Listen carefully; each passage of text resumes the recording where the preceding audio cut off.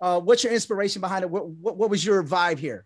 For definitely for me, it was about change. The song is about change and not being afraid to take the step.